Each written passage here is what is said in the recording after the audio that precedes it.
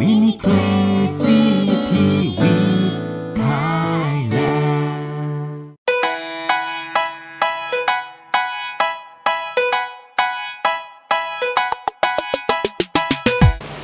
สวัสดีครับ ตอนนี้นะครับมินิ Crazy TV Thailand เราอยู่กับกูรูคนเดิม ผู้รู้รู้ดี รู้รู้ไปหมดอะ หมดทุกอย่างปรึกษาได้หมดนะครับรู้ไปเรื่องกับนั้นพี่โรม Bad Ass นะครับ ก็วันนี้เอ่อ ผมมาคุยกับพี่โรมต่อในส่วนของเออช่วงล่างของ New Mini ตอนที่ 2 นะครับ กับทางทีมของเอ่อ Mini Crazy TV Thailand ถ้าเกิดว่าใครดูตอนที่ 1 แล้วเนี่ย เราพูดเรื่องอะไรก็นั่นแหละเรามาเรื่องต่อไปนะครับ ถ้าใครไม่รู้ย้อนกลับไปดูก่อนไม่บอกด้วยแล้วค่อยมาดูเออเราไม่บอกไม่บอกเราไม่บอกว่าเราเราคุยเรื่องอะไรเออใช่ไหมจำไม่ได้วันนี้จริงๆอะนี่คือจำปลาทอง ผมเป็นปลาทองจำไม่ได้ ตอนที่แล้วคุยเรื่องอะไรวะพอมาตอนนี้นะเราก็ยังอยู่ในส่วนของป้วนเปี้ยนที่เอ่อเป็นใต้ท้องรถนะครับ ก็ตอนที่สองเราจะมาว่ากันเรื่องของไอ้พวกเหล็กแท่งฮะๆพวกคานยึดไม้อะไรค้ำยันต่างๆไม้คำยันนี่ ช่วยเดินไขนะคนไขข้อไม่ดี เข่าเสียแล้วนั่งอาบักแม่ไม่ใช่แล้วคนละอันเลยคนละอันกันคนละอันกัน เรามาว่ากันก่อนว่าช่วงล่างที่เอ่อ ช่วยในเรื่องของสมรรถนะที่ครับติดอยู่กับตัวรถเนี่ย ข้างล่างเนี่ยมันมีอะไรบ้างนอกจากล้อยางโชคอัพสปริง ก็จะมีเรื่องของตัวนี้ อันนี้ อันนี้เลยเนี่ย ติดมากับรถทุกคัน แต่อาจจะไม่ค่อยเห็นกัน อันนี้มันคือกันโครงกันโครงอ่าตามชื่อเลย ก็กันโครงเคลงอ่านนะครับ ก็เพราะฉะนั้นเนี่ยโดยส่วนใหญ่แล้วจะบอกว่าเอ่อ ตัวนี้เนี่ยจะติดอยู่ที่เรือเยอะ เพราะมันกันมันโครงไม่เวลาติดนี่มันจะเป็นอย่างนี้เนาะเป็นอย่างนี้อย่างนี้อย่างนี้อ่านี่นะครับ ก็ติดอยู่กับรถใช่ที่มาครับจากโรงงานใช่ครับนะครับครับผมก็คือเดิมเนี่ยเมื่อช่วงที่แล้วเราพูดกันไปเนี่ยรถสี่ล้อเนี่ยมันจะมีโชคอ่าอ่าซึ่งการทำงานมันเนี่ยจะอิสระใช่นะครับ ทีนี้เอ่อถ้าหากว่าเราไม่มีตัวนี้ เวลามันทำงานเนี่ยรถมันก็จะโยกเยกโยกเยกก็ก็แล้วแต่มันอ่าจะเวลายังไงตามพื้นตามถนนอ่าตัวนี้มาช่วยช่วยดึงรถให้มันนิ่ง เพราะว่ามันจะลิงก์จากข้างซ้ายไปข้างขวา ล้อนะครับก็คือลิงก์ล้อจากซ้ายขวาครับนะครับหพนึ่องมันหนึ่งชุด มีแรงข้าหลัก็หแรนึ่งชุมาดกระทำที่ล้อข้างหนึ่งมันจะส่งแรงไปที่ล้ออีกข้างหนึ่งช่วยให้กดถนนด้วย ช่วยช่วยกดล้อเอาไว้อะไม่ให้ไม่ให้รถมันโยกเยกโยนเย็น ให้มันก็ตามชื่ออะกันโครงอะกันโครงเนาะเออ ก็เนี่ยมาเป็นเอ่อเหล็ก น่าจะประมาณสัก 20 มิลยี่สิบได้มั้งกว่ามิลครับ อ่านะครับ ก็ตรงนี้เป็นส่วนที่ติดกับรถ ใช่ครับถ้าเกิดว่าเราต้องการให้รถมี performance นะมากกว่านี้ ในมากส่วขึ้นนของเรื่องของการเกาะถนนอ่าการขับขี่อะไรพวกเวลาเลี้นี้ยวโค้ง มันมีอะไรเพิ่มเติม ก็จะเป็นของแต่งก็คืออาจจะมีขนาดใหญ่ขึ้น อ๋อ ก็คือตัวนี้แต่งได้ด้วยคือเปลี่ยนตัวนี้ออกใช่ครับใช่ แล้วก็เอาตัวที่มีขนาดใหญ่ขึ้นใช่ มาใส่ ก็จะคล้ายๆสปริงคือค่าเคเยอะขึ้น โอเคอ่าคือมันจะใหญ่ขึ้นมันจะอ่าให้ตัวได้น้อยลงกว่าเดิม นั่นก็หมายถึงว่าตัวรถเวลาก็จะด้านหน้าก็คือมันจะไปใช่ทั้มังนจะทั้งทั้งแนวแกนน่ะอ่าทั้งแนวแกนล้อซ้ายขวานะครับครับก็จะเป็นอย่างนั้นครับผม แล้วก็ของแต่งบางรุ่นเนี่ยมีรูเนี้ยสามรูให้เลือกอีกอ๋อเหรออ่าคือมาออกมาไกลขึ้นเนี่ย มันครัก็บจะแข็งขึ้น เอ้ยมันจะนิ่มขึ้นเท่าทีออกมาไกลขึ้นอืมมันจะนิ่ม ถ้าเราเราขับแล้วรู้สึกว่าให้ยมัน มันแข็งแข็งเกินไป เราสามารถที่จะปรับได้ครับเข้ามาอีกหน่อยนึงอะไรเงี้ครัยบก็นิ่มขึ้นมาอีกนิดนึงครับอ่าของแต่งก็จะเป็นอย่างนั้นฟิลลิ่งอันนี้คือเวลาที่เราขับไปปั๊บมันจะไปมันจะไปอย่างนี้ครับมันจะไปอย่างนี้อ่าถ้าแข็งเวลาถ้ามีแรงกระทำด้านนี้ ยกขึ้นปั๊บมันก็จะครับมีความรู้สึกว่าตัวถังมันจะอย่างนี้อ่าใช่มันจะดึงล้ออีกข้างหนึดึงงให้กดไม่ให้ยกลอยอะไรเงี้ยครับอือืมมเข้าใจละก็ถ้าเกิดตัวนี้ก็แต่งได้ แล้วถ้าเกิดว่าที่ไม่ติดรถ ที่ที่เราต้องไปสาซื้อมาใหม่ เพื่อเพื่อความสะใจในอารมณ์แบบแบบว่ากูอยากแต่งอะอืม มีอะไรบ้าง เอาเริ่มตั้งแต่ส่วนของจากหน้ารถมาเลย มีมีมันก็หมายถึงชิ้นนี้หรือชิ้นอื่น ชิ้นอื่น อ๋อ เราพูดถึงอานอกเหนือจากติดรถละถูกครับใช่ใช่อ่านอกเหนือจากติดรถเนี่ยก็คือค้ำโชคค้ำโชค สิ่งแรกที่นักซิ่งจะนึกถึง อ๋อพอมาปั๊บเปิดฝาโปรง ฝากระโปรงรถ อ่าเปิดกระโปรงรถ คิดเลยเนี่ยรู้รู้ทันรู้ทัน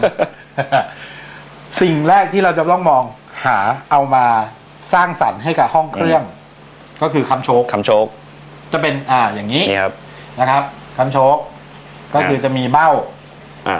ตามชื่อเลยค้ำโชคก็ไปค้ำอยู่ที่หัวโชคอืมสองข้างซ้ายขวา ตามชื่ออีกเหมือนกัน มันต่างกันยังไงครับ กับเอ่อ ผมผมเห็นบางอันเป็นท่อนกลมครับบางอันเป็นท่อนแบนแบนเป็นลีลีเป็นเป็นรีรีกลมอ่าเป็นๆต่างกันที่ข้าวสารหน้าตาสองมานานครับอ๋อแค่หน้าตาหน้าตาครับความสวยงาม หน้าตาวัสดุความสวยงามอืมครับผม ก็น้ำหนัก ก็มีส่วนมีส่วนด้วยครับ คือถ้าเป็นโลหะเป็นเหล็กก็อาจจะหนักหน่อย แต่ว่าความแข็งแรงทนทานก็แข็งแรงสูกว่าครับ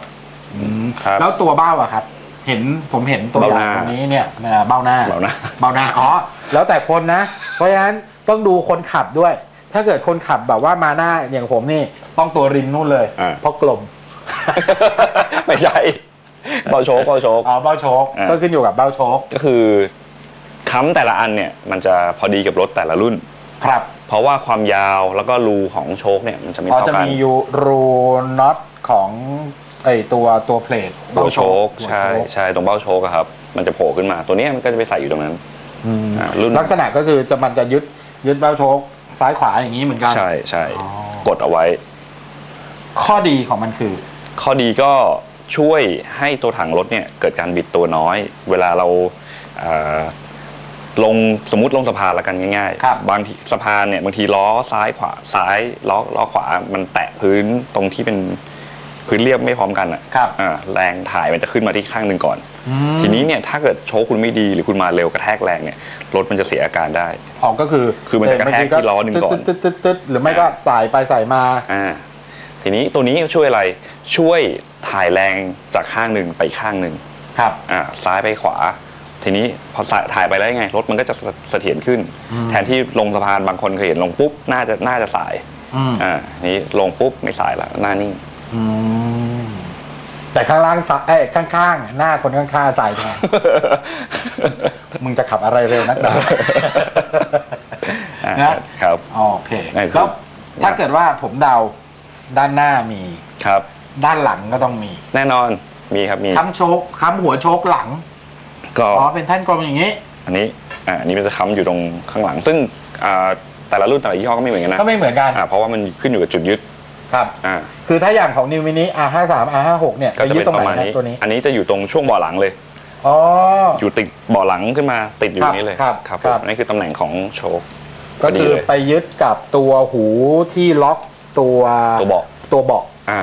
อืมครับ จริง ๆ มันก็ไม่เชิงคำโชคสักทีเดียวเพราะว่ามันก็ไม่ได้ไปอยู่ที่โชคอ่า ตัวนี้ก็คือจะเป็นค้ำค้ำตัวคำบอดี้แล้วกันค้ำบออ่าดี้คำตัวถัง เออเนอะ ใช่ มันก็ตัวนี้นี่มีผลเหมือนกับ ก็คำโชกหน้าเหมือนกันครับคล้ายๆกันอ่าคล้ายๆกันเพราะว่าก็ไปทำให้ตัวถังแข็งแรงขึ้นอ๋ออาอันนี้อาจจะจะย้อนนิดนึงตรงที่ว่าเอ่อช่วงล่างข้างหลังของของรถบางรุ่น อย่างเช่นนิวมิตัว F56 เนี่ยข้างหลังเนี่ยตัวโชคกับสปริงมันจะแยกกันอยู่ คือมันจะไม่ไม่สอดใส่เข้าอยู่ด้วยกันพูดถูกไหม ใช่ใช่ไม่พูดถูก ไม่ไม่สอดใส่ ก็คือธรรมดาพอเราพูดถึงสปริงกับโชคเนี่ยก็เราจะเห็นว่า สปริงมันจะไปครอบโชคอย่างส่วนใหญ่มันสวมเข้าไปเลยเอออยู่ในครอบโชคอย่างในนี้โชผมคผมกำลังจะทำอย่างนี้มันอย่างนี้ดีกว่า อ่าน่ะนะโอเคไม่ไม่ค่อยร้อนแหลมเนอะอ่าเออเออ นะก็ข้างแต่ว่าถ้าเกิดของ F56 เนี่ย ตัวสปริงมันก็จะยึดกับตัวจะออกมาอยู่ถัข้างนอกตัวครับ โชคก็ยึดอยู่กับตัวถังใช่ อ่าเพราะฉะนั้นตัวนี้มันขึ้นไปค้ำอยู่ข้างบน มันก็มันจะช่วยยึดตัวถังใช่ ให้ช่วยเป็นแนว ทำให้ตัวถังแข็งแรงขึ้น ไม่บิดอืมเวลาเข้าโค้งเวลาอะไรต่างๆ ลงสะพานเนี่ยครับ ตัวถังจะไม่ค่อยบิด อืมอ่าใช้ค้ำตัวถังค้ำประกันไม่ได้ ค้ำประกันไม่ได้อืม ค้ำกู้เงินก็ไม่ได้ ไม่ได้ กู้ซื้อซื้อบ้านอะไรกันไม่ได้ไม่ได้ครับ นะค้ำค้ำตรงหลังได้อย่างตัวเดียถังวรถอย่างเดียว โอเค แม่นะ แล้วมันมีอะไรอีกค้ำอะไรอีกบ้างอ่า เมื่อกี้เราคุยกันเรื่องค้ำบนหน้าหลังไปแล้วนะครับทีนี้มันก็จะมีค้ำล่างด้วย นี่คือค้ำด้านล่าง ค้ำด้านล่างนี่ค้ำล่างหมยถึคือ ไปติดตรงไหนฮะ อ่าก็ด้านก็ด้านล่างเลยพี่ ด้านล่างด้านล่าง ค้ำล่างอ๋อใต้ท้องรถ ใช่อ๋อล่างรถโอเคาคือตัวรถเนี่ย นี่ นี่โอเคโอ้โห มันจะให้ตัวได้เขาทำมาให้มันให้ตัวได้ flexible ให้ขับนุ่มนวลครับอ่าทีนี้เนี่ยปีกนกมันก็ขยับได้เนี่ยขึ้นลงได้อืมซ้ายขวาอืมแต่ถ้ามันอ่าเราต้องการ performance มากขึ้น ให้ครับมันกระชับขึ้นนะคครัรับ บ ก็คือตัวนี้มันก็จะมาค้ำอยู่ที่ตัวปลายปีกนก แล้วก็ตัวถังอ่า เวลาปีกนกมันเคลื่อนที่เนี่ยอ่ามันจะเคลื่อนที่ในแนวจำกัดของมันครับมันจะไม่แบบเบี้ยวไปตามตัวถัง เพครัราะบตัวเนี้ยมันไปค้ำตัวถังไว้ ให้เหมือนตัวถังแข็งแรงขึ้นอ่านี่คือค้ำล่างหน้าด้านหน้า ด้านหน้า ด้านหลังด้านหลังก็มี ก็มีเหมือนกัน